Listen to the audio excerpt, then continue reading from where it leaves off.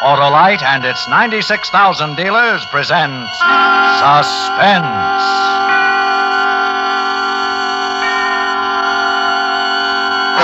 Tonight, Autolite brings you a story of murder in the roaring 20s, the Windy City Six, starring Mr. Fred MacMurray and featuring Red Nichols and his five pennies.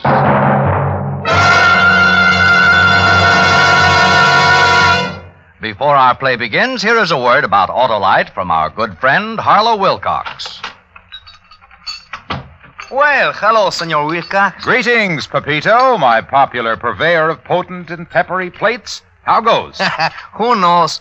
I am too filled with excitement, like, uh, oh, like. Uh, like an Autolite Stay Full battery is filled with quick, dependable starting power and long life? Si, si, si. Well, why the glee, my merry muchacho? Could it be your Autolite Stay Full, the battery that needs water only three times a year in normal car use? Si, si, amigo. Because with it, I never worry. and what's more, Pepito, the Autolite Stay Full gives longer life, as proved by tests conducted according to accepted life cycle standards. this is longer than my father's siesta. Ah, there's no siesta with the Autolite Stay Full, Pepito. Those fiberglass mats protecting every positive plate prevent shedding and flaking and keep the Stay Full power filled for you. For me? Sure. You and every motorist who visits his neighborhood Autolite battery dealer for an Autolite Stay Full, the battery that needs water only three times a year in normal car use. Because you're always right with Autolite. And now, with the Windy City Six and the performance of Mr. Fred MacMurray, Autolite hopes once again to keep you in suspense.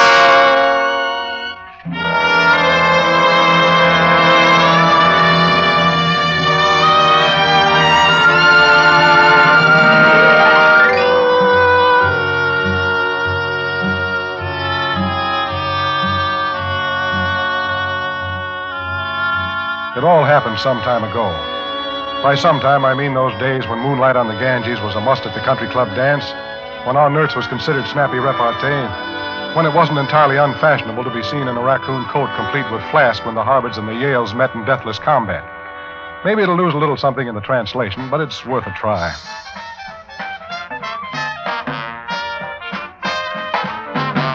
Anyway, as it happened, we were playing in a little pad on Oriole Street. Crazy Jack Fisher's high hat. It was a speak, but then what wasn't at that time? When the breeze was off the river, you could hear the riff notes of the Windy City Six blowing uptown.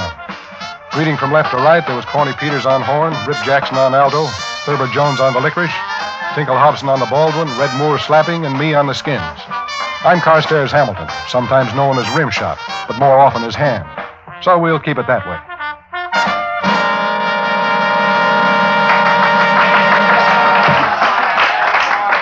Ham? Yeah, Corny? You booted the beat three times in that last set. What is it? Well, uh, every time I slide a glimmer over at that skirt of table 13, my ticker skips a beat. Maybe my sticks caught the fever. Oh. Well, those two playboys with her are Bull Hurley and Red Rocks Farrell. You get ready to whistle again. They want to talk with you. Talk with me? That's what they said. Go on now. Keep the customers happy. Oh, okay, Corny. Uh, somebody said you wanted to see me. I guess maybe it was a mistake, so I'll It just. wasn't no mistake.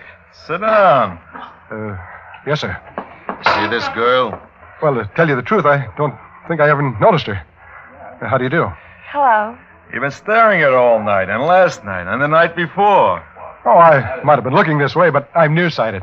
You ought to be in George White's scandals. Now, let me give it to you straight, bad ears. We're taking care of this girl for a very particular friend. So lay off her, huh? Because if you don't, your poor old mother's going to have someplace to take flowers on Sunday afternoon. Your grave.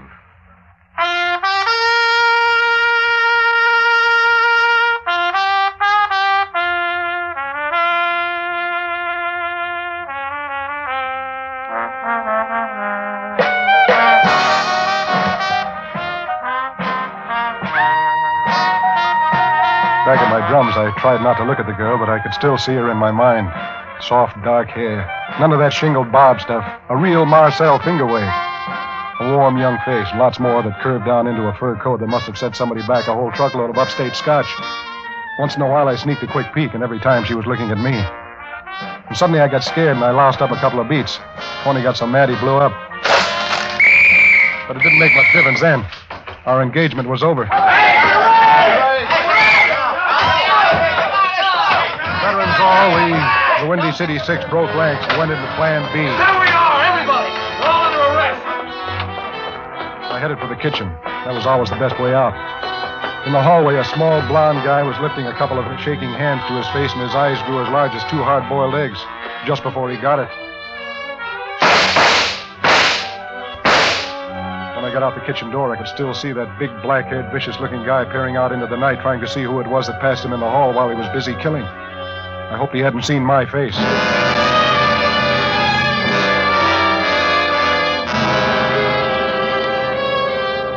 I ran for a while, and then I slowed down to a walk. The first few snowflakes of winter were starting to fall, and the world was pulling on that Wonderland slipover. I turned my Chesterfield collar up around my neck and noticed I was still holding a pair of drumsticks. I thought it over for a minute. Then I threw them into the darkness beyond the streetlight. I made up my mind that from now on I was going to stay out of joints like the high hat. When I finally got back to my rooming house, there was a surprise in a fur coat waiting for me, sitting on the front stoop. I uh, tried to ignore her.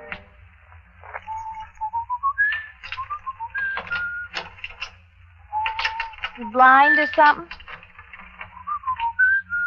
I suppose you get dozens of girls sitting on your step and I waiting for you. Hey, Oh, were you uh, looking for me? what do you think I've been sitting out here in the cold for? Selling subscriptions to the Police Gazette? Sit down. Uh, won't you come inside? It's safer out here. I haven't forgotten the way you were looking at me at the hi hat. No. Say, uh, tell me, how'd you get out of that raid so quick? How do you think? I was with Red Rocks Farrell. They don't touch him. Oh, yeah, of course. Mind telling me your name? Cora Lee. Two E's. Two E's. huh? That's pretty. Tell me, uh, Cora, what do you want with me? How'd you find my place? Crazy Jack gave us the address. Farrell and Hurley sent me to get you. To get me? Look, I don't know anything. I didn't see anything. I told you I was nearsighted. 2040. They got a place up in the mountains. They decided to throw a holiday party. They want a band. Isham Jones was busy, so all you guys are being picked up. Oh, I lost my drums. Don't worry, they'll get drums. Let's go. Are you going with me? Somebody has to show you the road. Alone? Look, we can talk all about it on the way. And don't get any ideas because I might send for reinforcements. And these reinforcements will make a marine landing look like Isadora Duncan's finale. You got anything brave to say? I'll bet you I'm ready before you can count to a 100. By twos.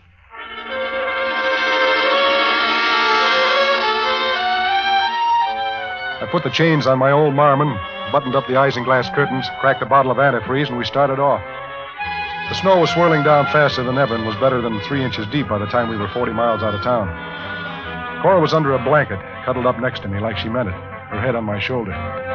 But it wasn't as romantic as it sounds because under the blanket, Cora was shaking. And it was the kind of shaking you don't get from being cold, but from being scared.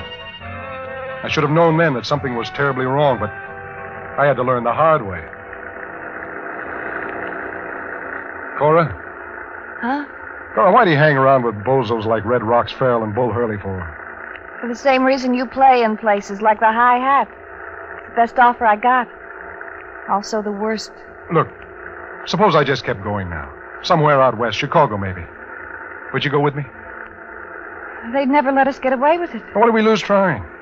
You don't belong with those guys. You belong where the air is clean and you only take a drink when you want and love when you. Please, don't. What's the matter? Did I say something wrong? Look, why don't you hit me on the head and throw me out and just keep going? Throw you out. Of course, I wouldn't throw you out to save my life. Oh, Ham, don't say that.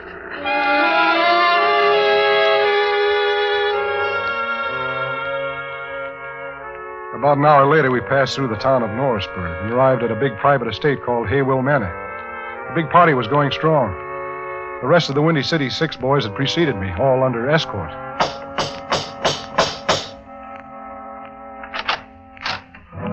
The man who answered the door was the one person I never wanted to see again. When I'd seen him last, he was killing a man at the High Hat. Well, Cora, I see you got him. you got a pretty smart way of leaving a raid in a hurry, Sonny. Kitchen door. I hope nothing happens to your luck. Kitchen door. I, I, I didn't go out the kitchen door. I, uh, I always leave by the basement window. Mm. I hope for your sake you're right, Sonny. Mike, he's a genuine nice guy. Well, nice guy. I think you'll like this party. Lots of drinks, lots of girls, and lots of happy music, huh? Oh, sure, sure. I'll do my best. Uh, did you get my drums? Don't worry about drums. We don't have them. We'll give you a couple of skulls to be. Uh...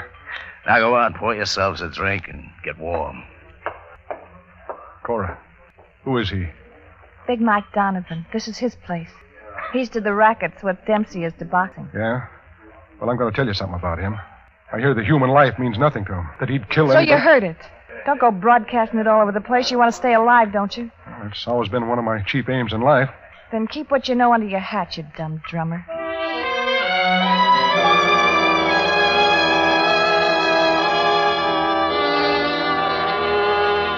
The party was big and it was bouncy. Cora was sitting in a corner looking scared. Big Mike Donovan, Bull Hurley, and Red Rock Farrell were gathered at the bar drinking an uncommon amount of liquor and looking our way every time they wanted to laugh. Thurber Jones began to get nervous, and his clarinet developed an off key squeak. The three men put down their drinks and came over. Which one do you think it is, Bull? I got ten bucks says it's a saxophone player. He's got a shifty look. Yeah, I'll take the bet, because I don't think he's the guy.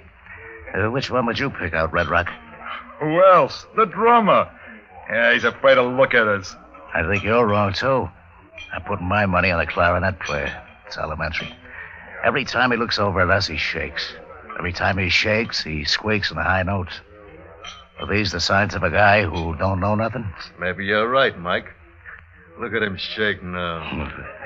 Hey, you, with the clarinet. Yes, Mr. Donovan? What's your name? Jones, sir. Thurber Jones. Well, Thurber Jones, me and Bull and Red Rocks think you're a lousy clarinet player. I- I'm doing my best, sir. We got an idea we can show you how to play it better. Come with us. Huh? Well, well, well, I, I, I'll do better, sir, if you, if you'll just. I me- said, uh, come with us. Hey, wait a minute.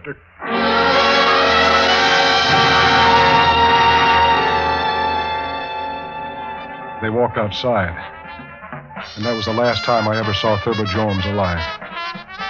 The rest of us were as jumpy as cats, and we played for two hours without a break. Everybody was getting stoned, but I didn't dare take a drink. Then Big Mike called an intermission while they served the buffet dinner. But everybody was so drunk that nobody ate much. Big Mike began to be loud and noisy, and he was started waving a gun around, boasting what a great shot he was.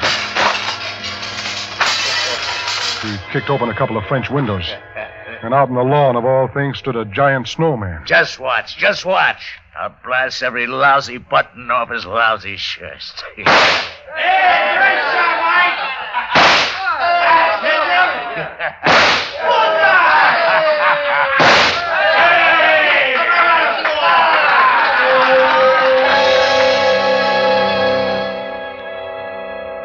did it all right. Four pieces of coal shattered and vanished into the snow. Everybody cheered and then turned back to the food and drinks. Everybody, that is, but me. I couldn't take my eyes off the snowman. Because running down its crystal white front was red blood.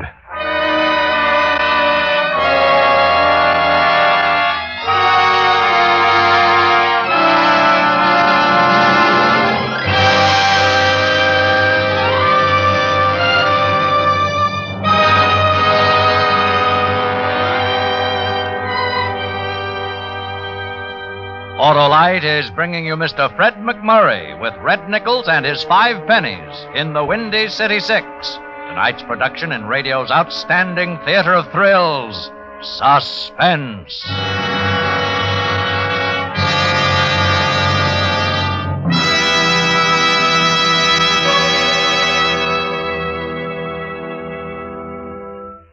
Hey, Senor Wilcox, how about a tortilla? Why, sure, Pepito. I'll always talk to you about that great Autolite Stay Full battery. how about a tamale? Why, wait till tamale. Today and every day, you'll get quick, dependable starts with the Autolite Stay Full battery, the battery that needs water only three times a year in normal car use. well, enchilada, maybe? Your Aunt Chelada, your Uncle Manuel, and Grandpa, everybody loves the Autolite Stay Full. The battery that gives longer life, as proved by tests conducted according to accepted life cycle standards. Glass of tequila, senor? Fiberglass, Pepito, because fiberglass retaining mats protect every positive plate of the Autolite Stay Full battery to reduce shedding and flaking and keep the Stay Full power packed for perfect propulsions. But what is this in English? It means visit your neighborhood Autolite battery dealer for an Autolite Stay Full, the battery that needs water only three times a year in normal car use. And remember, you're always right with Autolite. And now, Autolite brings back to our Hollywood soundstage Mr. Fred MacMurray in Elliott Lewis's production of The Windy City Six, a tale well calculated to keep you in suspense.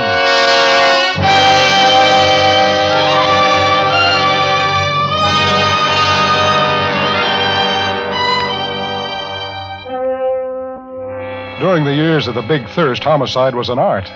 Sometimes it was Tommy guns against a wall, sometimes it was a concrete overshoe in the bottom of the East River, or maybe an ice pick in the heart. But out on the snow swept lawn of Big Mike Donovan's mansion that cold December night, I was looking at the chilliest bit of murder any crazy hooligan ever thought up a bleeding snowman. Only now it wasn't a snowman. Ham, you better get back inside. You'll freeze out here. Ah, Yeah. It's Thurber, Cora. Thurber Jones. Poor little guy. He played the sweetest clarinet east of St. Louis. He was always loaning money to guys. He loved everybody. He never hurt a soul.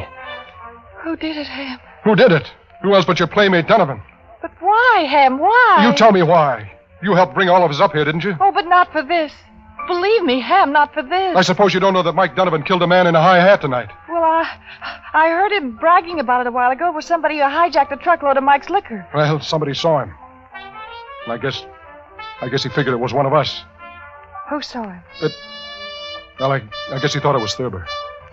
I mean, it wasn't? I, I don't mean anything. I'm getting cold. Why don't you go back inside and join your killers? Ham. Go on. You work this side of the street for all the laughs you're going to get. Oh, Ham, I'm not the same as they are. I don't blame you for thinking what you do, but I, I wish you wouldn't. Yeah. All right. Let's just say the jury's still out on you. Look. Look, I'll prove to you I'm not like them. Here, you'll need a fast car. What are these for? They're the keys to Mike's car. It's in the garage. Take it down to Norrisburg and come back with all the cops you can find. Hey, Bertie! That's Mike. Cora! That's Mike. Where are you? Oh, hurry, please, go. I want them to get what's coming to them. I want them to get it good. Yeah, but what about you? Hey, Cora! Who are you talking to out there? Oh. Come on back to the party, baby! Go on, go on, before all of you wind up like Thurber.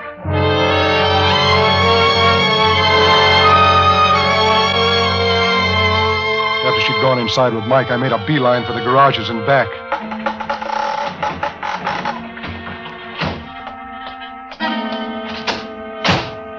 Just as I got the keys in the ignition, somebody. In case you don't know it, Flea Brain, this is Mike Donovan's car. Oh? Well, I, I guess I must have made a mistake. Uh, hey, take that gun off my head, will you? Mike hires me to do nothing but sit in the back seat of his car. Now I might get a raise. Yeah, well, I always like to see somebody get ahead. Uh, the gun. I might get a raise because Mike wouldn't like you to leave his party without first you telling him what a nice time you had. Oh, you, you got me wrong. I, I was going to write him a bread and butter letter first thing in the morning, honest. Oh, uh, about the gun. Shut up before I shove it through your stinking skull. I start walking.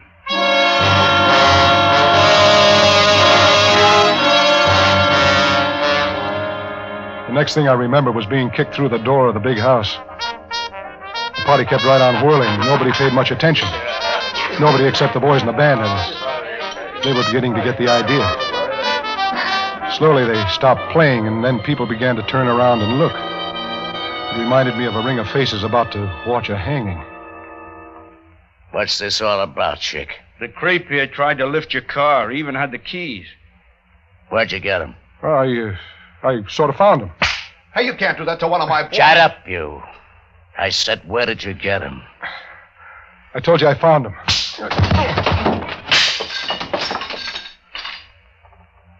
Where did you get him?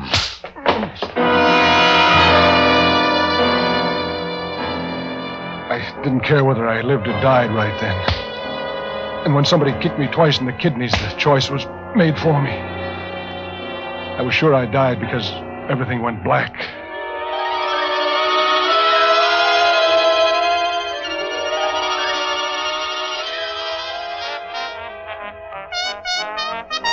Came to, I was still lying in the same place, and the party was still going on.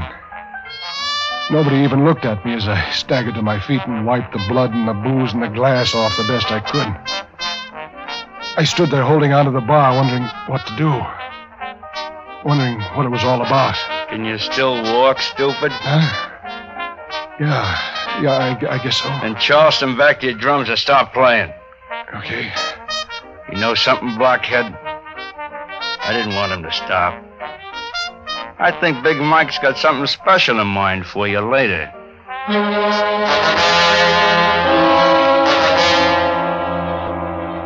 None of the boys in the band even looked at me when I got back to my drums and picked up the beat. Corny and Rip and Tinkle acted as if I were dead already. We played all through our sheets twice without a break. None of us dared stop. We knew somehow we were playing for our lives.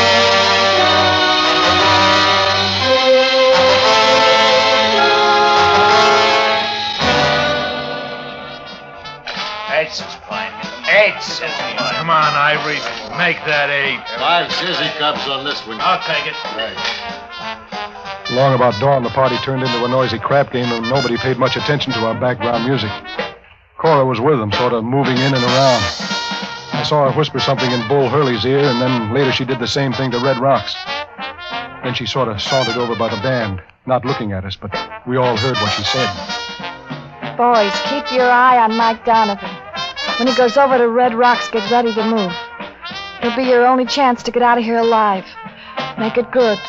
We all looked at each other and kept right on playing, waiting to see what she was talking about. Pretty soon it began to make sense. Are You dirty heel, making a pass at my girl. I made a pass at your girl, Mike? Just told me that you and Red Rocks both made passes at her. And I'm gonna break both your necks. Now, wait a minute, Mike.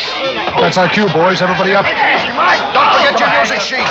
Boys, this way, out through this door. Yeah, I got it. Come on, boys. Phew.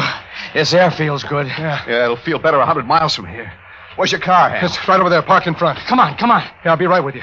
Go ahead. Cora, Go on, get out of here. You'll never have another chance. I'm not going without you. Come on, Ham. Don't just stand there. I'll be all right. Yeah, for how long? One of those ready boys in there will start shooting his guns again, and you might get in the line of fire. What if I do? I deserve it for being so dumb. And we'll all be killed if you don't move. Well, Cora? I'd only get you in trouble. Yeah, I believe you, but I want to take you anyway. Come on. Ham, for God's sake. Look, lady, tell him you'll come with him, please. Oh, Ham, I wanted anything but a dumb $35 a week drum player. Oh, I get it. Well, that tears it. I'm washed. But I never knew how wonderful a dumb $35 a week drum player could be. I'm coming with you. We all scrambled over to my marmon and climbed in. Red and Rip in the back seat, Cora in front, me at the helm, and Corny on the crank. Come on, baby. What's the matter with it, Ham? Well, it's ten below zero. Give, give it another whirl. For God's sakes, make it go, Ham.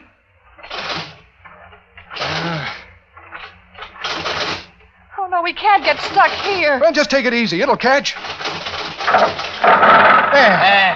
Come on, Corny, get in. What'd I tell you? Like a Swiss watch, huh? Let's get out of here. Hey, hang on, we're off.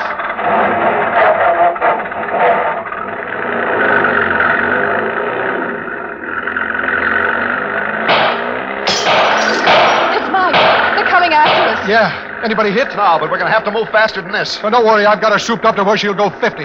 Hold on.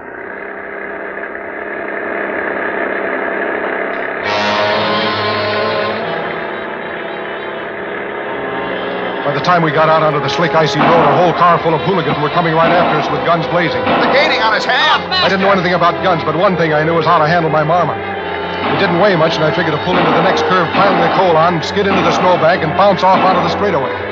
If that heavy rolls tried to make it at the same speed and hit the snowbank, I was sure to go right on through.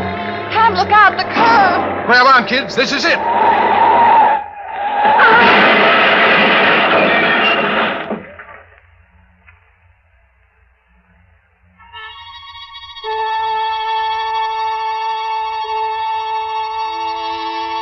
Several courses later, I fluttered an eyelid open and ventured a peek. Somewhere I'd miscalculated, because we were now stacked against a giant tree right on the edge of the road looking down into the valley. And down there, a hundred feet below us, was a pile of something that had once been a rich, expensive automobile full of rich, cheap thugs. And around it, no one stirred.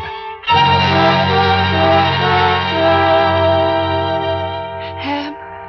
Oh, darling, are you all right? Yeah. Yeah, I guess so, Cora. How about you?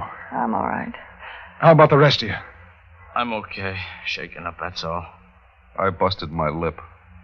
Look, I'll never put my base back together again. Well, at least we're all alive. Except poor Thurber.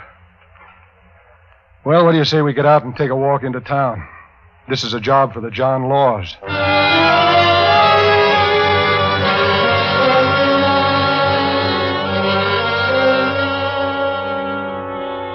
Well, that's the coda. It was the last engagement of the Windy City Six. We went out with a full arrangement and a big finish. It was in all the papers. Maybe you saw the spread. The boys on the front page, Mike Donovan and Company in Vital Statistics, and Cora and me in the social columns. yeah, we did it. Complete with old shoes and new rice. Oh, uh, if you ever happen to get up Norrisburg way on a curve that turns on a steep hillside, with an old scarred tree looking down into the valley, take five and listen.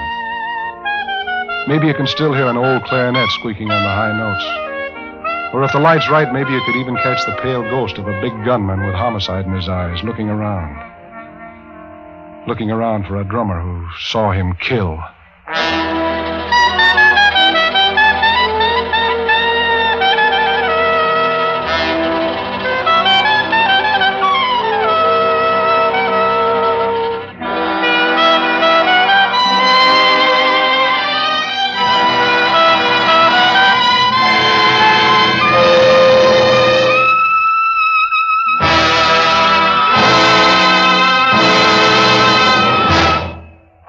Suspense, presented by Autolite.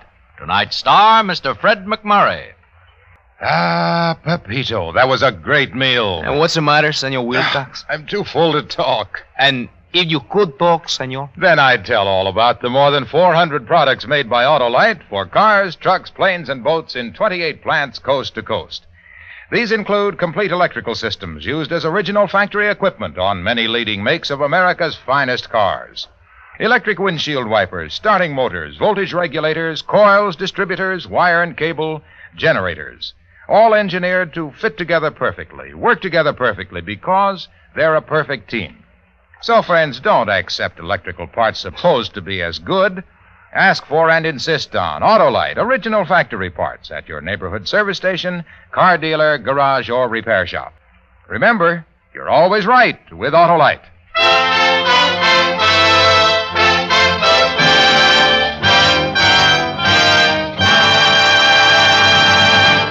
Next week, we celebrate the return of the First Lady of Suspense, Miss Agnes Moorehead, in a play we call The Death Parade. And then on February 22nd, in answer to your many requests, Backseat Driver, repeated for you with its original stars, Fibber McGee and Molly, all on Suspense. Suspense is produced and directed by Elliott Lewis, with music composed by Lucien Moraweck and conducted by Lud Gluskin. Portions of this program were transcribed. Tonight's cast included Mary Jane Croft and Edmund MacDonald. The Windy City Six was written for suspense by E. Jack Neuman and John Michael Hayes. Fred MacMurray may currently be seen in the RKO picture Never a Dull Moment. And remember, next week on Suspense, Miss Agnes Moorehead, as a woman who finds a letter warning of death and has only three hours to deliver it. A tale we call The Death Parade. Buy Autolite Stay Full batteries, Autolite Standard Type or Resistor Type spark plugs, Autolite electrical parts at your neighborhood Autolite dealers. Switch to Autolite. Good night. Nearly half of the people who died in America last year were victims of heart disease, our number one killer.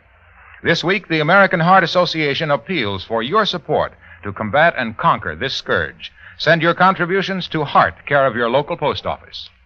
This is CBS, the Columbia Broadcasting System. Thank you.